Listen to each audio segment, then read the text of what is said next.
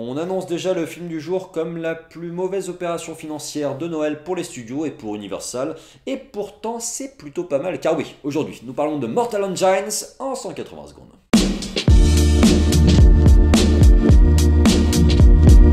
Réalisé par Christian Weaver, c'est sorti le 12 décembre 2018. Depuis une apocalypse technologique, les habitants de la Terre vivent sur des villes motorisées à la recherche quotidienne de ressources via la confrontation avec d'autres véhicules. Alors, euh, Mortal Engine, c'est principalement annoncé comme la nouvelle production de Peter Jackson, même si c'est pas lui à la réalisation.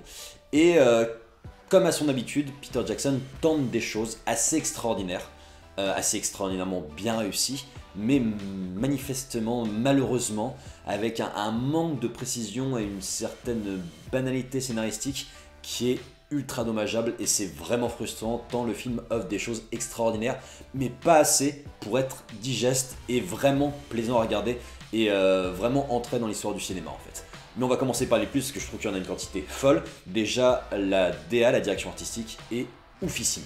C'est très très bien fait. Euh, moi j'ai vu aucun fond vert dégueulasse, tout est bien fait alors que tout est fait en effets spéciaux, enfin globalement il n'y a que ça.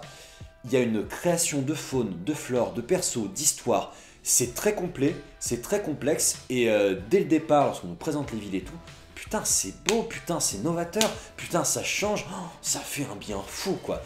Il y a un casting qui est euh, assez cool, dans le sens où on a donné des rôles principaux à deux jeunes assez méconnus, dont un acteur de Misfits que je suis très content de retrouver là-dedans. Il y a après euh, les barons, les, darons pardon, du métier comme Hugo Weaving qui gère toujours à la perfection. Et puis il y a des créations de persos qui sont folles. je pense à Shrek pour ceux qui ont vu le film, et pour ceux qui le découvriront, vous me direz, je pense que ça restera le meilleur perso du film.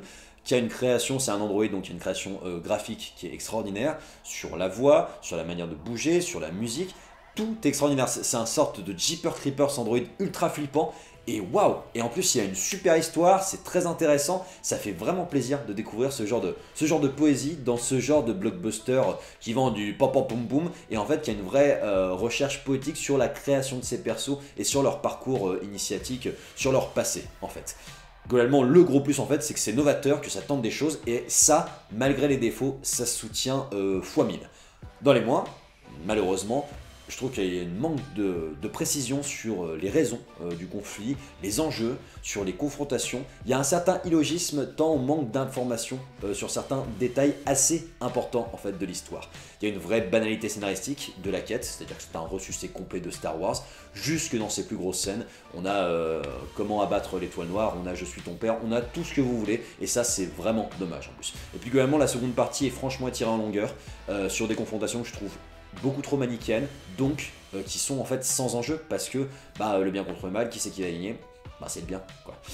Je trouve que Mortal Engine est un ovni, certes un ovni raté, mais un ovni quand même, et euh, avec en fait un nombre de forces qui est vraiment incommensurable, malgré un global qui reste en fait juste passable, mais qui se soutient malgré tout parce que ça tente des choses. Et top. Et c'est tout pour la critique cinéma du jour. Comme vous avez dû pouvoir vous, en apercevoir, je suis un petit peu moins présent euh, sur YouTube euh, ces dernières semaines. J'ai beaucoup de travail, donc c'est tant mieux. Et du coup, j'arrive pas du tout à garder ce rythme hebdomadaire que j'ai pu vous offrir ces trois dernières années. J'essaierai de rester présent euh, par cette démarche que j'ai eue là en, fin décembre où je vous ai fait une série complète de vidéos, de 8 vidéos je crois à la suite, que vous pourrez retrouver chaque jour pour fêter Noël. Mais sachez que je n'abandonne pas, le, je n'abandonne pas le navire, j'essaie de continuer à un rythme sûrement moins effréné, mais à continuer à vous offrir des critiques en 180 secondes. J'espère en tout cas que le film du jour vous a plu, je vous invite à liker, commenter et vous abonner. Puis je vous donne rendez-vous très bientôt pour d'autres critiques ciné. Non 180 secondes, ouais c'est ça il me semble.